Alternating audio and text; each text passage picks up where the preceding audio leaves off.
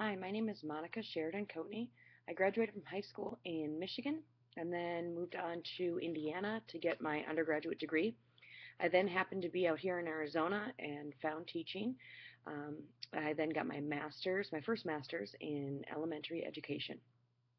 I've been teaching for nine years in middle grade math. This year is my 10th year that I am going to be teaching. Uh, I teach at a high, in a high school for math lab this year, and I'm also the math coach uh, on our campus. Um, I'm looking forward to working with you uh, throughout this class um, and finishing my degree up.